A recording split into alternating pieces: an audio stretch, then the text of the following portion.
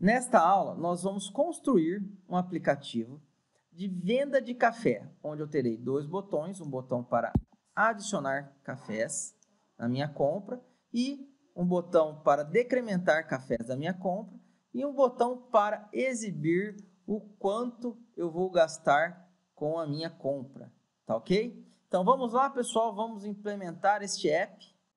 Olá, pessoal, hoje nós vamos criar um aplicativo de venda de café, que tem como objetivo aprendermos um pouquinho mais sobre os componentes, sobre os eventos, em especial sobre o button, o text view, o image e mais algumas coisas, ok? Então, primeiro de tudo, file, new, project. Então, vamos criar um novo projeto aqui no Android Studio. Coffee sale. Então, venda de café, avançar para telefone, tá? Activity empty, tá? E main activity. Então, vamos criar aqui uma activity em branco. Ok? Pronto, está abrindo aqui o Android Studio está criando a nossa aplicação, tá ok? Vamos aguardar. Enquanto isso, pessoal, vamos já adiantar algumas coisas. O que, que eu vou fazer? Eu vou vir aqui na web, tá? E vou pesquisar por coffee sale, tá ok? E vou escolher aqui uma imagem, tá ok? Eu achei essa imagem bem interessante. Então, vou clicar a imagem e vou salvar ela. Salvar a imagem como coffee sale, já com todas as letras em minúsculos, tá? Vou lá em Image e vou salvar. Pronto, já salvei. Tá ok? Porque quero utilizar esta imagem no meu app. Ainda está criando tá? Ah, Danilo, eu preciso utilizar a mesma imagem que você? Não, vocês têm a opção de escolher outra imagem, ok? Inclusive, vou pegar aqui, ó, save, salvar imagem como off sale 2, para termos uma segunda opção, ok? E maravilha! Foi o tempo para que ele criasse aqui o nosso Activity, tá? E toda a estrutura do nosso projeto. Agora, o que, que nós vamos fazer, pessoal? Eu vou vir aqui na pastinha Res, Resource, onde fica toda a parte dos recursos que eu utilizo no meu app. Em Drawable, botão direito, e Show in Explorer. Pronto, está aqui. Ó. Abri a pastinha Drawable e vou jogar para dentro da pastinha Drawable, pessoal, as imagens que eu acabei de salvar. Vou até aproveitar aqui, ó, o que? O atalho do próprio navegador. Olha que benção que é possível de fazer no Windows. Pronto, está aqui, ó. Joguei as imagens ali, tá ok? E eu vou fazer o que? Agora, dentro de Drawable, as imagens estão aqui. Pronto. Então, já posso utilizá-las aqui no meu programa. Tá ok? O que ele está reclamando aqui, ó?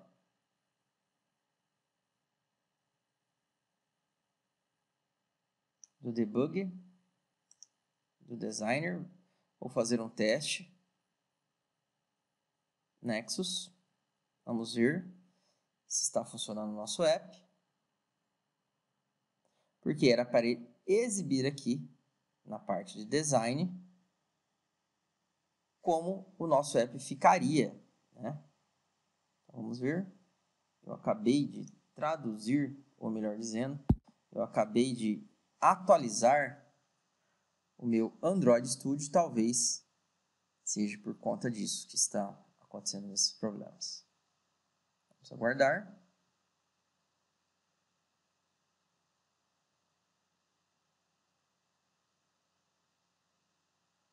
Vamos lá, está carregando. Ainda. No log aqui, ó. Apresentando mensagens de erro de armazenamento, tá? Mas está ainda processando, então vamos aguardar os processos finalizarem. Enquanto isso, pessoal, vou dar um pause, tá? Isso aqui pode, no primeiro momento, demorar um pouco. Então, pronto, pessoal, ó, funcionou. Tá aqui, ó, coffee save, hello world, tá? Vou dar um stop e vou clicar aqui, ó. Vamos ver. Cadê Sync Project with Gradle? Ó. Então, vamos tentar aqui sincronizar o nosso projeto para que ele exiba a parte do design, tá? Vamos aguardar ele efetuar esse processo. Pronto, olha que benção, pessoal, que um botãozinho mágico faz, né? Então, quando acontecer isso no projeto de vocês, basta vir aqui, ó, Sync Project with Grade, tá? Vou deletar o meu texto, Hello World, não quero esse texto por enquanto, tá? O que, que eu vou jogar aqui na minha tela? Eu tenho meu Constraint Layout, eu vou inserir aqui, tá? Um container, qual container? O... Uh,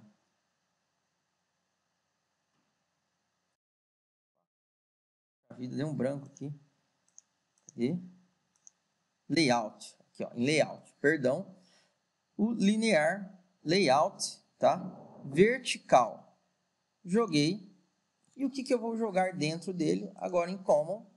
Primeiro de tudo, vou jogar o meu Image View. Joguei o meu Image View. Procurei no meu projeto o meu Coffee Sale, ó. Então, ele já vai representar o meu texto, ó. Sale, tá? Ok. Pronto, tá aqui, ó. A minha imagem do Coffee Sale, tá?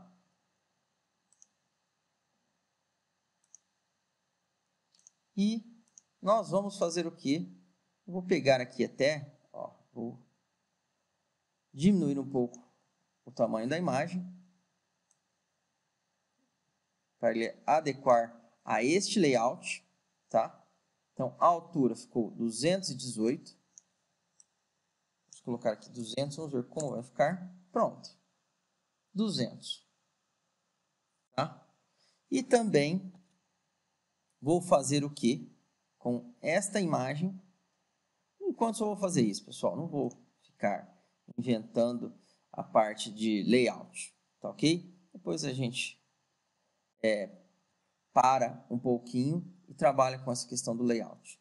Então vamos lá, além desse image view, o que, que eu vou jogar aqui agora, pessoal?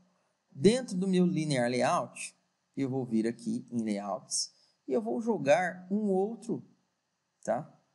Um outro é, linear layout, só que agora horizontal, logo abaixo a imagem. Por quê? Porque eu quero colocar aqui dentro desse linear layout, pessoal, três elementos tá? Quais elementos? Eu vou colocar um botão. Eu vou alterar o texto do botão. Qual texto que eu vou colocar aqui? O menos, sinal de menos. Ok. Vou jogar também um outro botão com o texto. Cadê o texto? Ah, mais, e eu vou alterar já o ID desse botão. BT ADD e o outro BT DEC. Incrementa e adiciona. Pronto. Meus dois botões. E vou inserir também aqui, ó, um Text View entre os botões. E vou alterar o ID para TV Text View ETD. E vou alterar esse texto para zero. Então, qual vai ser o objetivo deste texto? Exibir quantos cafés a pessoa deseja comprar. Vou alinhar o texto ao centro, colocar a fonte como bold e alterar o size. Então aqui está 14, vamos colocar 18. Vamos ver aqui 30. Pronto. 30 é muito. Vamos colocar aqui 24. Pronto. Vou dar um play e ver como vai ficar. Tá ok? Sempre vou utilizar esse nexus, então use same selection for future launches. Então, vamos acompanhar aqui no nosso emulador.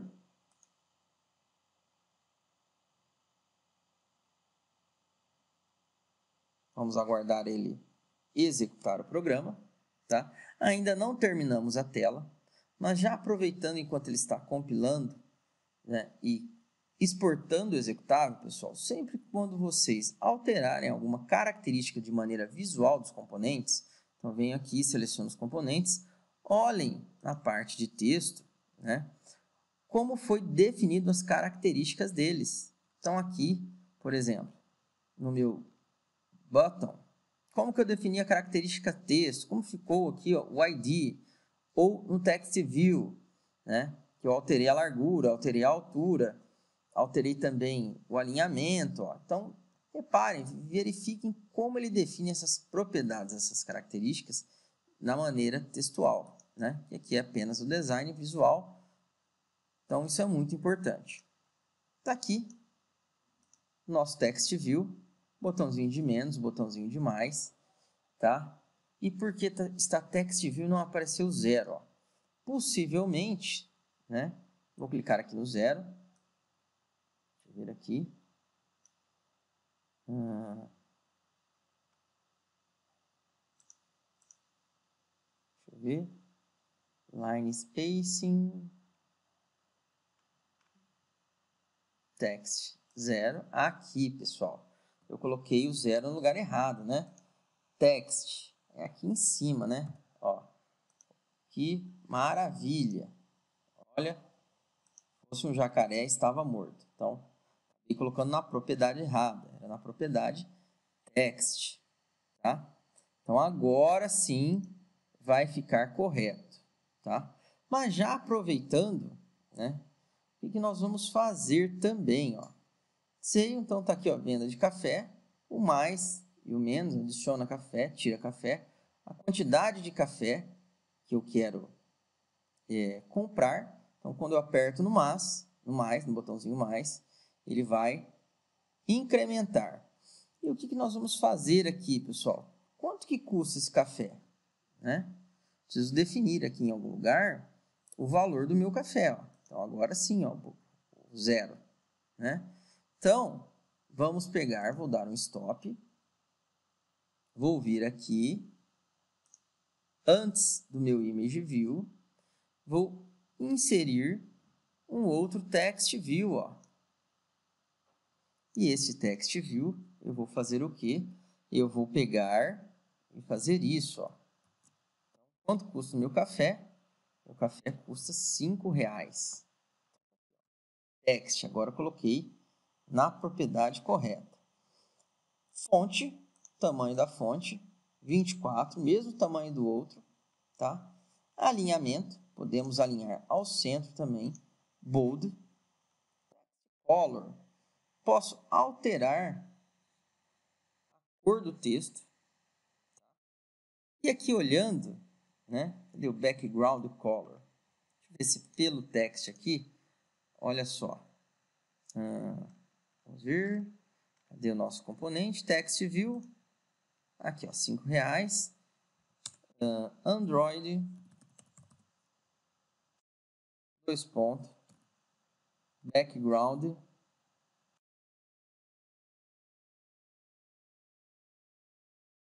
color. Cadê? Pronto. Defini uma cor já. Ou poderia fazer assim, arroba color.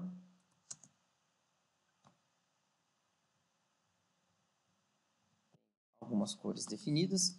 O black ele vai aceitar. Não tem lá, né? Então, não vai dar certo. Vou criar aqui o primary. Primary dark. Pronto. Tá? Pô, Danilo, mas por que que não funcionou? Porque aqui no meu res, olha, eu tenho meu arquivo de cores, onde eu defino uma cor. Poderia vir aqui, Ctrl C, Ctrl V, ó, color black, por exemplo. Black, tá? E definir a cor preta. Vamos ver aqui se eu lembro de cor. Preto. Lá.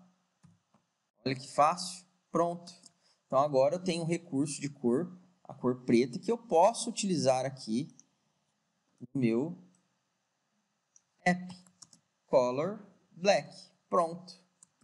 Então, se eu olhar agora a parte de design, olha como ficou bonitinho, ó, tá? Pô, Danilo, mas eu precisaria ter feito isso? Não, só quis demonstrar para vocês, tá? E aqui eu vou fazer o que também, ó, text color white. Se eu clicar aqui, ó, pessoal, não tem uma cor white. Então, eu tenho que voltar aqui no arquivo XML que representa as minhas cores e definir uma cor branca, ó, color white. Então, qual é a cor branca? Vamos ver se eu lembro. FFF, Pronto, ó. Beleza. Funcionou. Então agora eu posso vir aqui, ó, text color, color white. Pronto, tá? Feito. Olha que legal. E também nós vamos colocar no nosso app um outro botão. Logo abaixo, o linear. Coloquei no lugar errado, ó, benção. Vou deletar esse botão e colocar um outro botão novamente, ó. Não estou acertando, hein? Já acertei agora.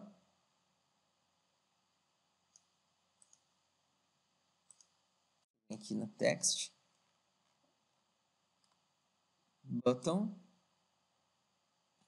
Linear layout. Agora acertei. Coloquei ele no final do linear layout. Deixa eu ver se eu acertei mesmo.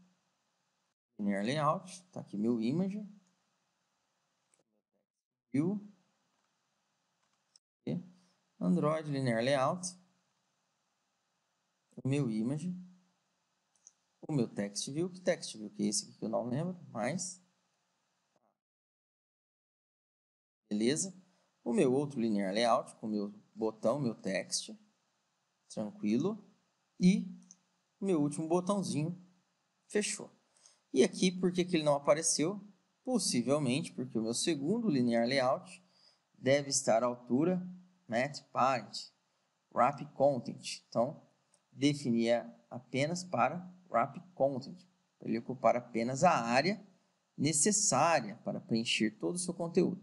E o meu botão aqui, tá? Eu vou fazer o que? A largura net parent, para ele ocupar toda a área. Ó. Então, não apenas é, a área necessária para preencher o botão. E na altura, net parent, ou melhor, wrap content, tá? Então, tá aqui o botão. Vou vir aqui no texto, alterar o texto, comprar. Vamos ver como ficou o nosso aplicativo.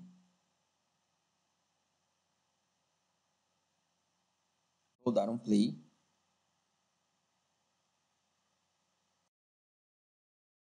E depois nós vamos alterar alguns outros detalhes, tá?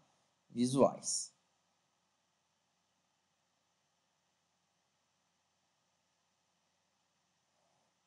Vamos aguardar.